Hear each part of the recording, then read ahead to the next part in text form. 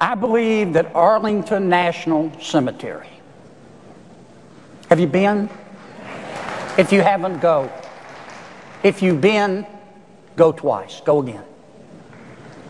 I believe that Arlington National Cemetery contains 400,000 reasons why you should stand your ass up for the national anthem.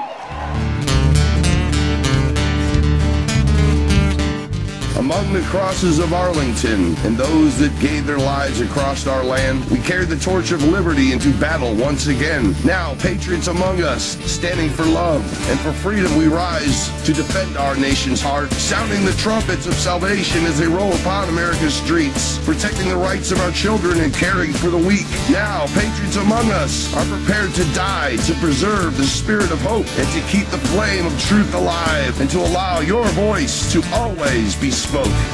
And I just want to thank you for standing.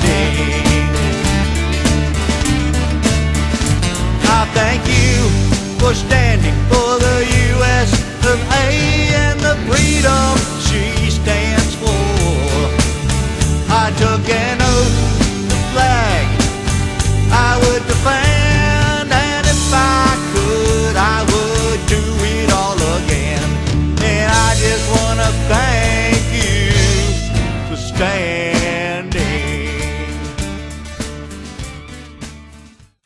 everybody. This is Dennis Aloia, the godfather of American Hearts Radio and Television Network.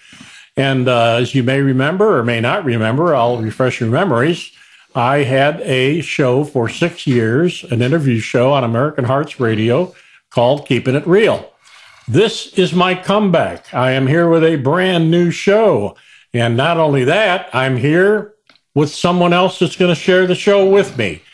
This is Mr. Hal Burke sitting to my left. Hal, you want to say hello? Hello, everybody. Glad to be here. Yeah, glad to be here. Uh, Hal and I go back a long way. In fact, longer than we want to admit. But uh, we met in the Navy. You remember that, Hal? Oh, yeah, 1963. Yep.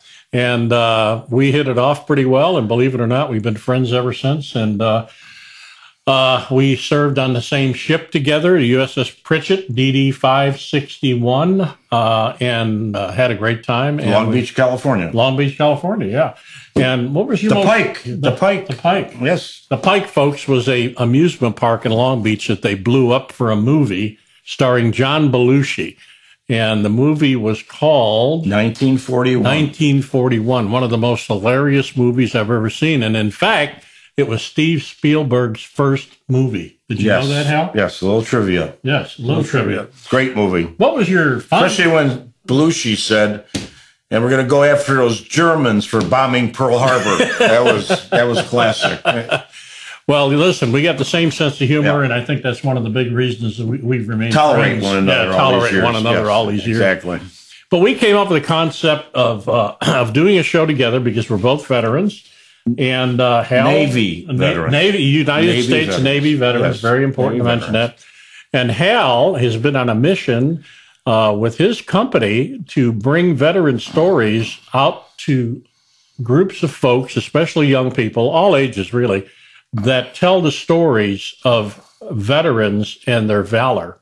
And um, this is going to be a show kind of tied in with that message. The name of our new show is going to be Patriots Among Us.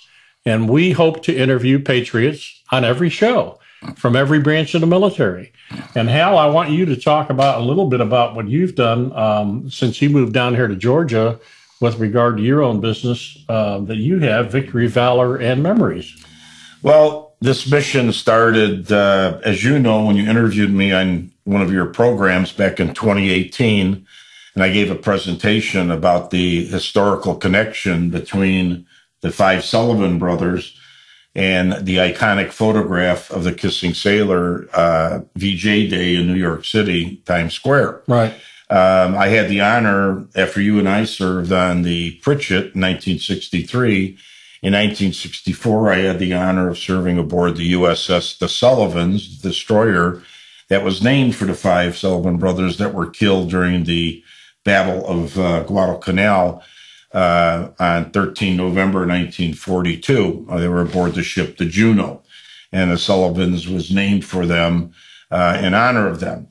And little did I know, fast forward to 2011 when I attended my first Sullivan's Association reunion in Waterloo, Iowa, that I was told that the sailor in the iconic photograph, the kissing sailor, uh, kissing the nurse, was actually a man named George Mendonsa, who was a commercial fisherman who lived in Newport, Rhode Island. And a book was written about him. And my uh, journey was to meet him, which I did, and visit with him for six years. And I've been doing a presentation talking about that historical connection since. And you were gracious to have me on your show. And that really snowballed into what we're doing today. Well, I know that since that experience, you've done your presentation and other presentations. I think you have about 10 or 11 of them right now at high schools, uh, senior communities, veteran uh, meeting events, just all kinds of venues. And um, over the last, over the last, I've been honored and blessed over the last five years. I've probably presented the story to over 40,000 people. Wow. Uh, one class, one high school in Downers Grove, Illinois, Downers Grove North. Uh, there were 2,900 students, veterans, administrators. And what made it so, uh, I was honored because after my presentation, I had a line of students and teachers and veterans. But the students said, Thank you. I didn't know that. Yeah. And the teacher said it. And I knew then that I was on uh, a right track in my Yeah, mission. Definitely. Well, uh, we have talked about doing a show together focused on the veteran community and the interviews that we'd like to do with the veterans. What do you want to bring out of these interviews that, you know, we could maybe share with a younger generation because we need some patriotic um, teachings in school today. I think that that is missing in a big way. What do you think about that? Well, I couldn't agree more. I believe that our history is not being taught as it should be. And my parents were the greatest generation, as yours were, and the sacrifices that they made over the years, uh, they're not talked about. And the freedoms and the liberty that we enjoy today was a direct result of America ridding the world of tyranny with our allies. And unfortunately, history repeats itself, is forgotten. And we can see Yep. that happening today this is with the 19 Russia invading the Ukraine and the people there being slaughtered because of a, uh, you know, the tyrant. tyranny. I, I'm a student of history, and this is 1939 all over again with Hitler Yeah. running over uh, Europe and the start of World War II. Hopefully, we don't get to that point. But aside from the World War II generation, uh, since we have joined some veteran organizations, I've met uh, a lot of fellows that served in Vietnam, as you have. Yes. And I not only want to tell their stories, but I want to also tap into the fellows that served in Afghanistan, Iraq, and the most recent Operation wars. Freedom, all Operation of those. Freedom. Yes. Because every one of those guys that served, whether land, sea, air, under the sea, they're all patriots. And I, I firmly and, and uh, just passionately believe that these patriots among us have to have their stories told so that the legacy continues and the younger generation can see what the price of freedom is and what kind of a person puts their life on the line when they sign that paper to sign up as a member of the military. Well, and you, and you hit on a very important point because when I gave my presentation at Riverside Brookfield High School to about 1,800 students, something made me kind of relate to the students. I said, How many of you have a family member serving in the military today? Yeah. And several hands went up out of these 1,800 students. And then I said, How many of your parents, grandparents had served our veterans? More hands went up. Right. And do you know somebody today that's serving in, in the military? Yes. And I said, that's the common thread that runs between all of us is that we, there is a connection and there is this quest for freedom to preserve what we have. Freedom is not free. And The common thread me, of yes, service yes. transcends the generation. Exactly. And it's really important that we bring the veterans that served, like you said, in the Gulf Wars into this community of veterans from Vietnam because the veterans from Vietnam nobody said thank you. As a matter of fact, it was a horrible period of time when these men came back. You and I had a different period. We were in the Cold War, so to speak. Right. We weren't in Vietnam, but we were right on the edge of it, and uh, we know what those veterans went through. And and I sympathize with them because I felt that the country was on the wrong course in the way they treated these veterans. We want, and the groups that we belong to now is comprised mostly of Vietnam veterans, but we see what they did for this country. We recognize and want to honor and respect the things that they have done. Well, no matter what area you served in, uh, you, all, you always have your challenges. You know, we served in the Cold War, War from 1960 to 66, and I personally served during the Cuban Missile Crisis. I was on active duty in the Navy at that time.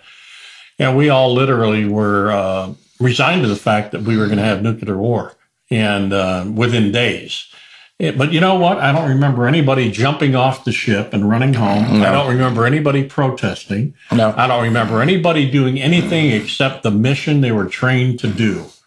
And I had friends that were on destroyers that were in Cuban waters that forced Russian submarines to surface. And uh, we, we were on the edge, like you said.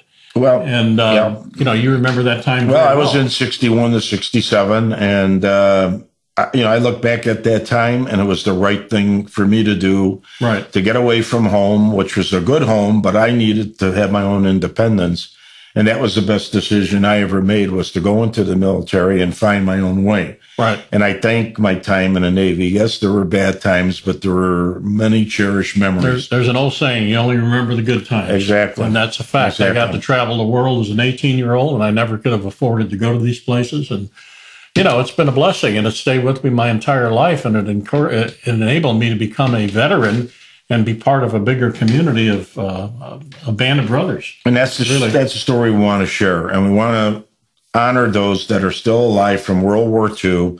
There were 16 million that served, and today there's less than 300,000. Right. So we want to honor those men and women and the families that served during World War II. Well, I think we're uh, on a great mission, and I think that our, our show is going to be a success in a lot of ways. It's going to give us self fulfillment. It's going to tell the story to the younger generation and all generations about patriots among us. So, folks, I want you to look forward to watching this show, and uh, we'll have another uh, a little bit of information for you coming up as to the time and the date. But this is kind of an introductory little video about our show forthcoming. Thank you for your time, and Hal. And I want to thank everyone for watching, and uh, we hope that you'll contribute to the program by recommending people that you know. There are so many stories out there as we give presentations we hear stories about you know women that served in the military under the WASP program. Right. So there's a lot of stories out there, and we want to make them known so that the younger generation has that history. And thank you. Yeah, I think we're going to take a, a little uh, pass now. Bye, everybody. See you soon. I took an oath to flag. I would defend.